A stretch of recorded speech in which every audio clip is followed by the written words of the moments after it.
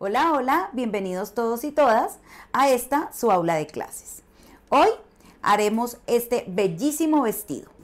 Es un vestido que está en tendencia para este 2022.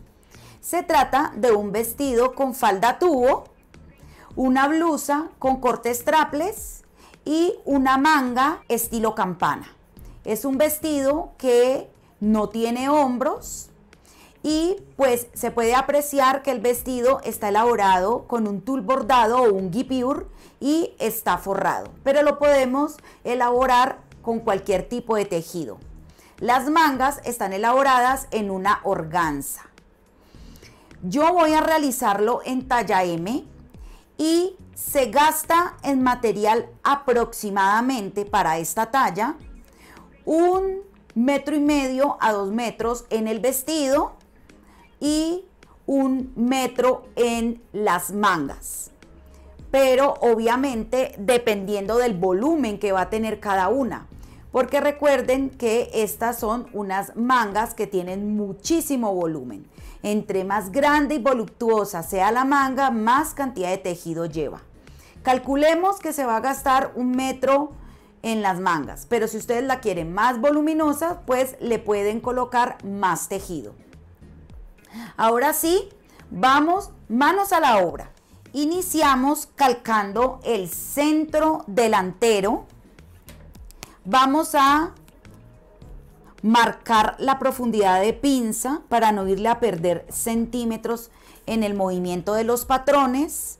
Ahora vamos a ubicar el costado de esta manera. Este patrón básico lo encuentran en el canal. Por acá arriba les voy a dejar la información para que vayan y trabajen con este patrón para que vean que es muy anatómico. En el canal tenemos dos patrones básicos. Con los dos podemos realizar este vestido. Comenzamos calcando lo que es la pinza, obviamente respetando los 3 centímetros de esta manera.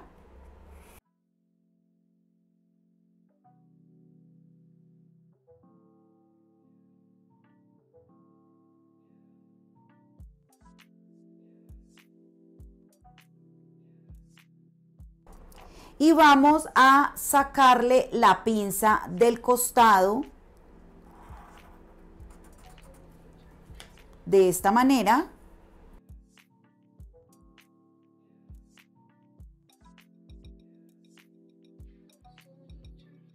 Determino la cintura.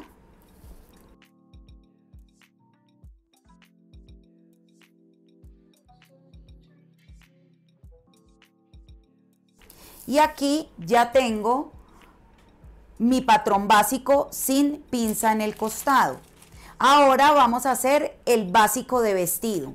De la cintura hacia abajo vamos a marcar el largo de la falda. Esto es un largo deseado. Yo lo voy a hacer con 60 centímetros.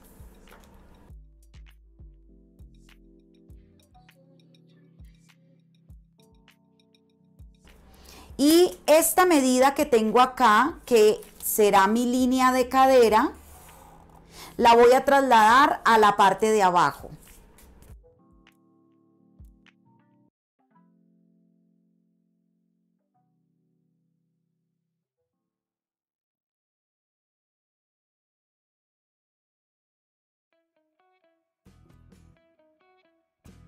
y de esta forma realizamos el básico de vestido. Vamos a comenzar por la falda, así que voy a separar el patrón para trabajar con más facilidad.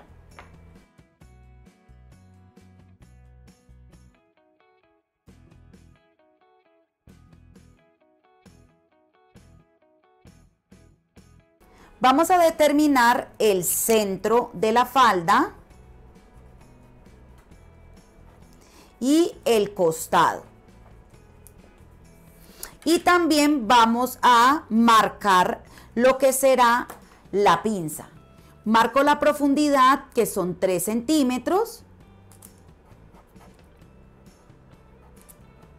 Y le voy a dar un largo de 12 centímetros a la pinza en el delantero. Ahora voy a construir la pinza que vamos a confeccionar en la parte de la falda.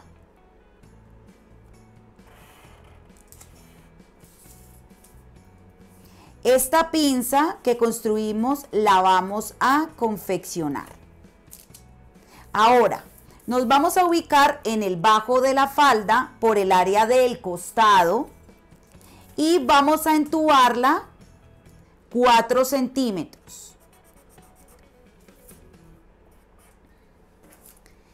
Estos 4 centímetros los vamos a llevar más o menos a esta altura antes de llegar a la línea de cadera.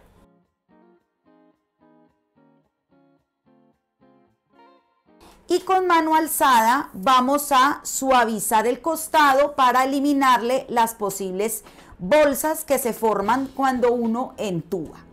Entonces, desde la cintura, con mano alzada, vamos a tratar de unir este costado borrando lo que es la bolsa. Esto se elimina del patrón. De esta manera yo ya terminé lo que es mi falda en la parte de adelante.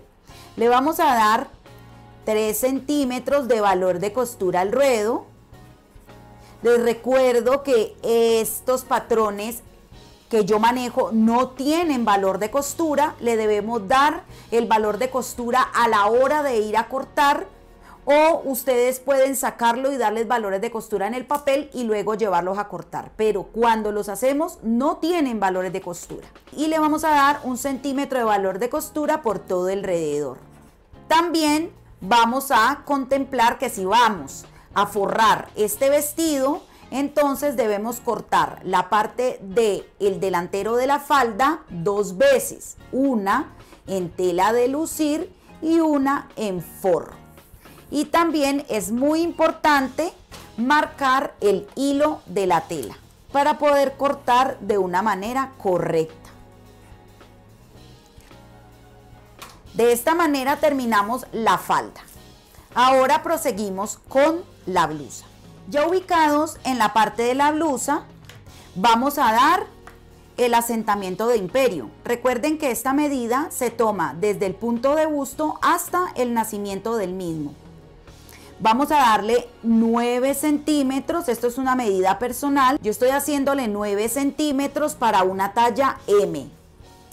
Ahora, ubicados en esos 9 centímetros por cada línea de pinza, vamos a sacar centímetro y medio y centímetro y medio. Y vamos a unir los puntos llevándolos hasta la cintura. Listo. Automáticamente mi patrón se partió en corte número 1 y corte número 2. Recuerden que cada que hacemos este tipo de asentamientos debemos de sacar una holgura en el costado de un centímetro o un centímetro y medio. En este caso lo voy a hacer de un centímetro y medio y lo llevo hacia la cintura. De esta manera. Ahora vamos a dar el alto de straples. Pero como este vestido lleva una manga, entonces me voy a ubicar desde el hombro por la sisa hacia abajo y de aquí voy a marcar la altura de escote que yo quiero que tenga el vestido. Entonces, esto es una medida a gusto personal. Me ubico en el punto de la sisa y el hombro y hacia abajo marco 11 centímetros. Y esos 11 centímetros me determinaron el alto de straples. Ahora, escuadrando, voy a llevar esos 11 centímetros hasta el centro del escote. De esta manera. Me voy a ubicar en estas dos líneas de pinza. Vamos a hacer asentamientos para que este vestido nos forme muy lindo el área del pecho. Entonces, me ubico en la línea de pinza del corte número 1 y voy a entrar 2 centímetros. Y me ubico en la línea de pinza del corte número 2 y voy a entrar centímetro y medio. Y todos dos los llevo, todos dos puntos los llevo al punto de busto. De esta manera. Y listo. Esto y esto se elimina del patrón al igual que esto para formar un buen busto. Si vamos a forrar el vestido, vuelvo y les repito, el corte número uno lo vamos a cortar dos veces. Uno en tela de lucir y uno en forro. Y le vamos a dar un centímetro de valor de costura, respetando el hilo de tela. El corte número uno debe de ir a doblez de tela. Ahora vamos al corte número dos o el corte del costado. Se debe de cortar dos veces en tela de lucir y dos veces en forro. O sea que se corta cuatro veces si lo vamos a forrar. Porque recuerden que se puede elaborar sin forrarse. Y también le vamos a dar un centímetro de valor de costura por todo alrededor. Ahora lo separo para ver qué resultó de este trazo. Antes de sacarlo del todo, les recuerdo que estos costados siempre se deben de suavizar. Así que por el costado hacia abajo marco 7 y a partir de allí voy a suavizar el corte del costado. Por acá arriba en la pantalla les voy a dejar el video donde enseño a hacer esto para que lo empiecen a realizar. Voy a suavizarlo y luego debemos medir los cortes y los cortes nos deben dar exactos. En caso tal de que nos haga falta en uno, debemos ponerle los centímetros que nos hacen falta. Y este es el resultante del trazo que acabamos de hacer. Ahora nos vamos a hacer la espalda. El patrón de la espalda de vestido se construye de la misma manera que construimos el del delantero. Ahora vamos a identificar centro y costado. Vamos a separar el patrón como lo hicimos en el delantero. Vamos a comenzar en la pinza. Vamos a determinar lo que es la profundidad de la pinza. Le vamos a marcar el eje de la misma. Y vamos a darle un largo de pinza de 10 centímetros. En el delantero dimos de 12, en la espalda damos de 10 y la construimos. Esta pinza la vamos a confeccionar.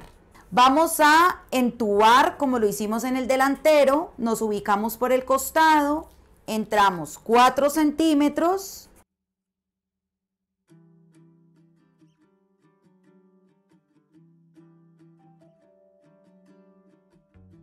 Suavizamos el costado para eliminar posibles bolsas.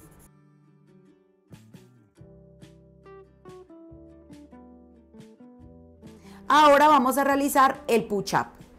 Esto, esta modificación que vamos a hacer a continuación, solamente se realiza a mujeres que tienen cola voluptuosa. A colas pequeñas no se le hace. Bueno, entonces, vamos a determinar el alto de derrier. ¿Cómo determino esta medida? Vamos a tomarle la medida a la clienta desde la cintura hasta donde le finaliza la cola. Como yo no tengo esa medida, entonces yo voy a hacer un aproximado.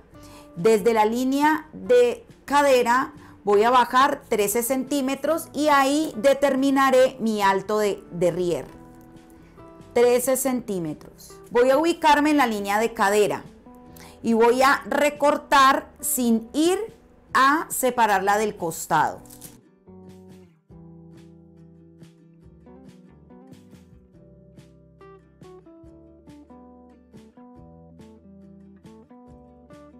Ahora tomo un trozo de papel y lo uno de esta manera.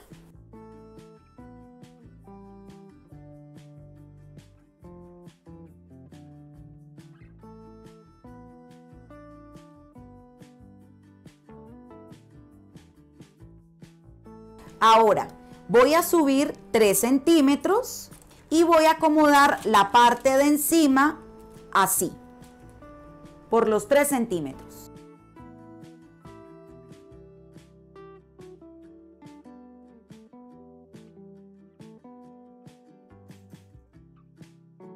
En la medida del alto del derrier voy a entrar un centímetro en el bajo voy a hacer lo mismo. Uno estos dos puntos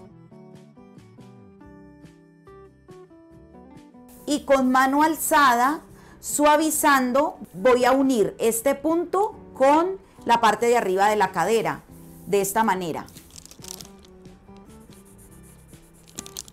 Para evitar las bolsas. Vamos a recortar para ver qué nos resultó de este patronaje. De esta manera nos quedó la parte de atrás en la falda. Igual que en el delantero, si lo vamos a forrar, lo vamos a cortar dos veces en tela de lucir y dos veces en forro. Le vamos a dar 3 centímetros de valor de costura en el ruedo y le vamos a dar un centímetro de valor de costura por todo alrededor. Ahora vamos a realizar la blusa. La blusa de la espalda es mucho más sencilla. Nos vamos a ubicar en este eje y de aquí para abajo vamos a medir lo mismo de altura del escote que le dimos en el delantero. En este caso son 11 centímetros. Y vamos a escuadrar esta medida hasta el centro de la espalda. Vamos a identificar el eje de la pinza.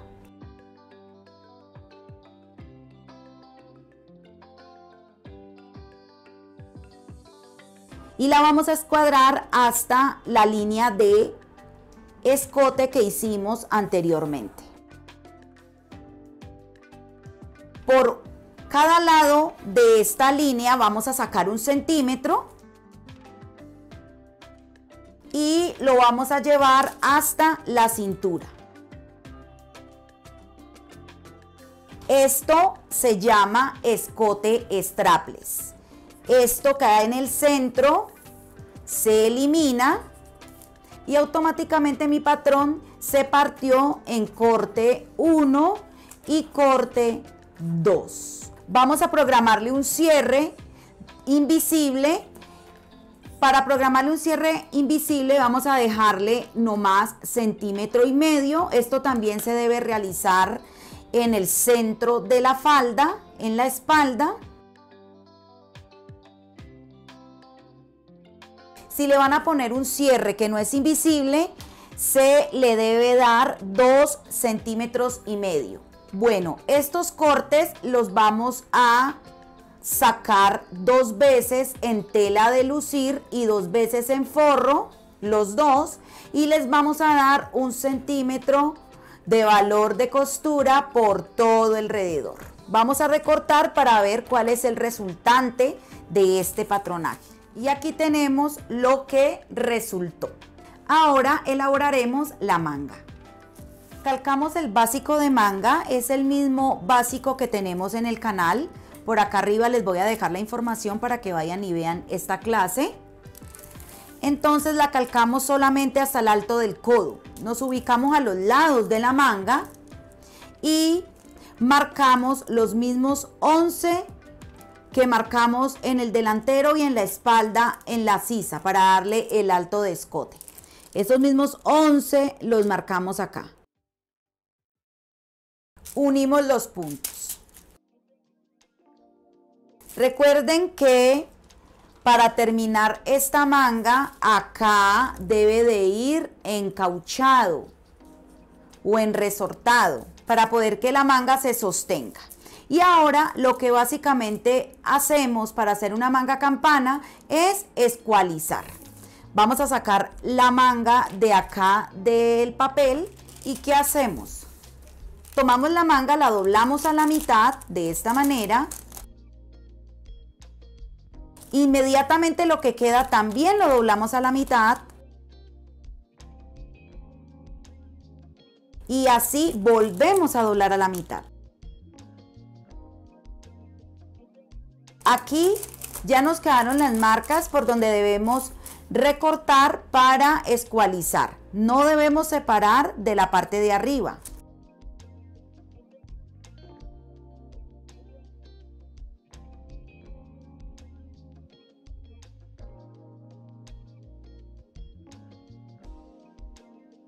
De esta manera ya tengo la manga escualizada. Voy a unirla a una hoja en blanco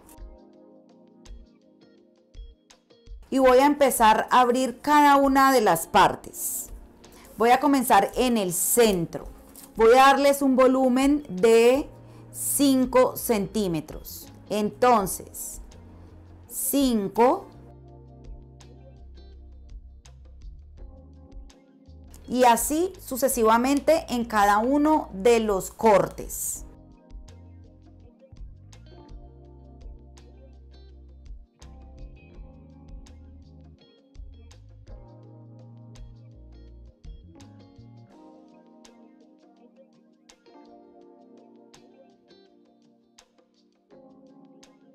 Recuerden que cada que hacemos este tipo de modificaciones siempre hay que suavizar porque se distorsionan un poco las líneas de corte. Bueno, ahora hacemos lo mismo en este lado.